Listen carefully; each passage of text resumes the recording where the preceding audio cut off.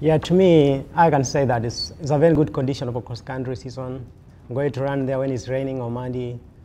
As we train for cross-country, we know we expect to face any condition. It may be cold, hot, so based on our training uh, with those guys here, we know we are ready for everything, whether it's going to be cold, muddy. I think we have experience. I think we ran a good race in Arkansas with Kemoy, same, same condition. So we know we have that experience. I hope it's going to be a good race for me. Yeah, when I'm with these guys, I know I give them respect. I know they always work hard, like mm, the same same as I work hard. I know the goals to come here to come and win. Nobody's come here to lose. Uh, I'm be excited tomorrow to come there and run with them. I have raced with all of them. I've run with Steven in regionals. It was cold there last weekend, so it's going to be tomorrow. We still have that experience with him. Then I raced with Kemoy in the second meet in Arkansas. It was Monday there. We had a good race with him. So I expect, I accept him tomorrow so to be with me, to be my closest challenger with Stephen. Then we have the other one here. I ran with him. I, I ran with him in regionals too.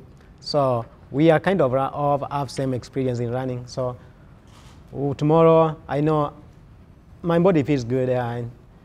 The way I did last year, starting with Stephen Sambu and Lawi Lalang, my body feels strong now. I know I'm in good place, but maybe the condition tomorrow may be bad to me, but what I have to do is to stay positive tomorrow and just take the condition how it is and then just go there and run my best.